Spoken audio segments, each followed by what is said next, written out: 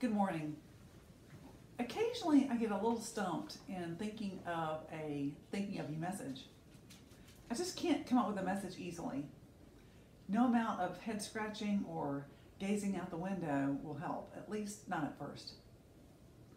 Do you ever get stumped or feel that you have nothing to say? Maybe nothing to write if you're working on a paper or a project or a message?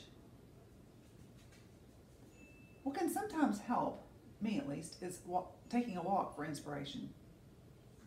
Maybe it's the exercise that gets the ideas flowing. It might be helpful to talk with a family member or a friend to get an idea. It is fun to bounce ideas off someone else.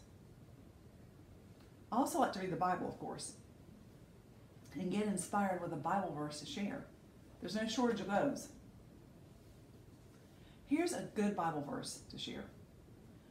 Oh, give thanks to the Lord. Call upon his name. Make known his deeds among the peoples. 1 Chronicles 16:8. Aha! An idea for thinking of you.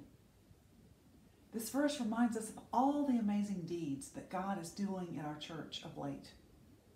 For example, Zebulon United Methodist Church preschool is reopening on January the 3rd after much prayer and visioning and planning by the preschool advisory board. We're having another annual Thanksgiving Day lunch on Thanksgiving Day, of course.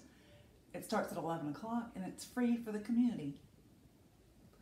We held Warming of the Hearts last Saturday and the outreach event went very well. We also look forward to Youth Sunday, this Sunday, November 20th, as well as Advent starting soon, and then Christmas Eve and Christmas. There is a great reason, all these are great reasons to be thankful, and it's a wonderful season to give thanks. Thanks to the Lord, I'm no longer stumped. God's deeds are always worth thinking about and talking about. Don't you agree? Let's pray. Dear God, thank you for all the ways that you're blessing Zebulon United Methodist Church. Everyone who spreads the word, who meets to make plans, who works to reach the goals, and who spends time for your glory, we thank you. May we come together even more in the days and weeks ahead to accomplish your purposes for us. And for anyone who might be stumped or lack inspiration for a project or assignment, please help those in need today. Amen. Have a wonderful day.